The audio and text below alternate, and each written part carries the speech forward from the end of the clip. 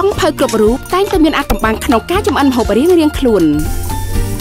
ម្ហូបដែលមានរសជាតិគឺជាការចង់បានបំផុតសម្រាប់មនុស្សម្នាក់ម្នាក់ប៉ុន្តែគ្រឿងផ្សំពិតជាសំខាន់ណាស់សម្រាប់ការចម្អិនម្ហូប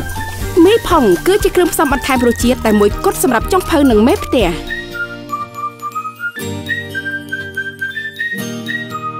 ប៊ីចេងស្លាបព្រាមីផុងគុណភាពលេខ1ពីកូរ៉េ